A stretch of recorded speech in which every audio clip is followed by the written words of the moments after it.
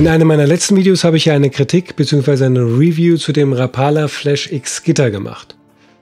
Nicht ohne Hintergedanken, denn ich wollte natürlich Rapala noch einmal ansprechen, nachdem ich wegen meiner Köderentwicklung, dem Needle Stick, schon diese Firma vor 5, 6, 7, 8 Jahren angeschrieben hatte, dachte ich, versuche es nochmal. Ja, inzwischen hat das Video über 2000 Klicks und als die 2000 erreicht war, dachte ich, ich schreibe eben Rapala nochmal an, eben auch mit dem Videolink, damit die da vielleicht zu Stellung nehmen mögen. Ich habe eine E-Mail-Adresse herausgefunden auf der Rapala.com-Seite, glaube ich. Fand auch eine Adresse, die mir danach aussah, dass zumindest irgendjemand da dran gehen könnte, der auch was zu sagen hat. Na gut, meistens werden die äh, Mailboxen ja doch von, äh, diese Support-Mailboxen ja doch von Assistenten oder ähm, Hilfsarbeitern oder was auch immer bedient, dachte ich zumindest. Aber, wie ihr gleich sehen werdet, ich habe tatsächlich eine Antwort vom Head of Product Development bekommen. Hier Head of Product Development, also tatsächlich eine zumindest vorgeblich äh, wichtige Figur. Auch ein äh, finnischer Name, also zumindest bei der richtigen Person angekommen. Jedenfalls der Inhalt des Ganzen, das könnt ihr euch natürlich genauer anschauen, indem ihr dann auf die Stopptaste drückt, wenn ihr wollt und das Ganze durchlest. Grob zusammengefasst ist, ähm, dass er mich überhaupt nicht kennt, meine Videos nicht gesehen hat und dass er sich sehr gewundert hat eben, insgesamt über die E-Mail, wo doch die Rapala-Produkte so ganz toll sind und das übliche Blabla, was man halt so zu Neuentwicklungen vermeintlichen sagt in x Ländern getestet worden. Hier haben wir stehen äh, Spanien, Frankreich und Italien. Und wie toll das alles ist und dass es einzigartig ist oder fast einzigartig und kaum noch Konkurrenz auf dem Markt gibt. Und natürlich auch, wie toll Rapala ist. Mit mir zusammenarbeiten wollte er dann scheinbar nicht. Ein bisschen wohl angepisst war er. Kann ich verstehen, weil meine Tonart ist ja oft... Äh, gut, ähm, ich habe da gar nicht weiter drüber nachgedacht. Äh, heute, als ich das Ganze bearbeitet habe als Video, sah ich dann, dass da Bilder angehängt worden sind an die E-Mail und da dachte ich, oh ja, da guckst du mal rein. Jetzt kommen bestimmt die Fangfotos mit dem Rapala Flash X Gitter, die auch beweisen, wie toll der Köder ist. Ja, aber stattdessen bekomme ich hier einen Baliu, wahrscheinlich aus Wikipedia oder so.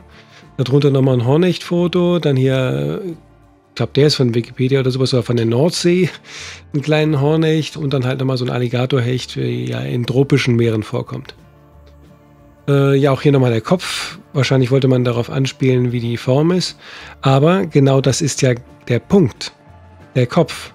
Nämlich der Kopf, die Form original des Needlefish, also des äh, echten Needlefish, die hat eben keinen Knick oder keine Delle nach oben, wie das ganz typisch für meinen Needlestick ist.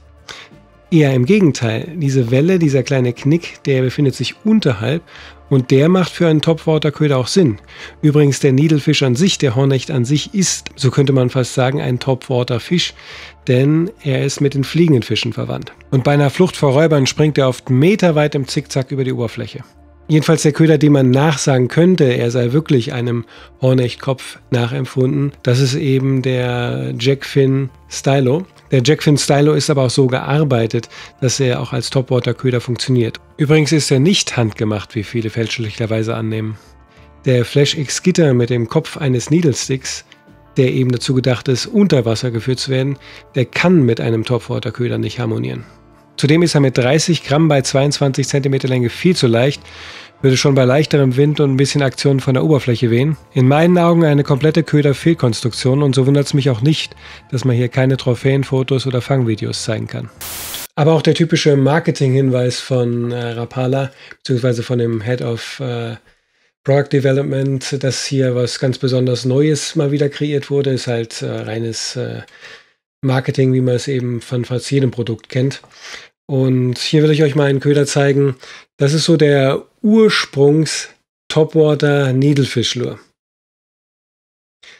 Diese Köder, die sind aus Holz, sogar hier mit einem rotierenden äh, Tönchenwirbel unten drunter. Und die gibt es schon seit Ewigkeiten. Die werden seit den 1960ern gebaut. Und alles, was danach kommt, sei es von Savage Gear oder sei es eben auch der Jackfin Stylo, das sind einfach bloß aufgehübschte Versionen. Charakteristisch ist halt zwei Hakenösen, das Gewicht mehr im hinteren Teil und halt vorne, dass der Köder eben über die Oberfläche schlittern kann. Der kann sinkend sein, der kann schwimmend sein. Letztendlich wird er so oder so auf die Oberfläche gezogen. Ganz anders eben als der Needle Stick, der eben sinkend ist und auch unter der Oberfläche bleibt. Das war mir ganz wichtig, weil sonst lässt sich ein Köder bei so starken Windverhältnissen wie auf den Kanaren oder auch anderswo überhaupt gar nicht vernünftig fischen.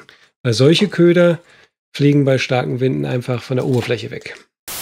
Ja, Fazit und Moral der Geschichte ist natürlich, ich habe mir gewünscht, dass eine größere Firma eben die Produktion des Needle Sticks übernehmen würde.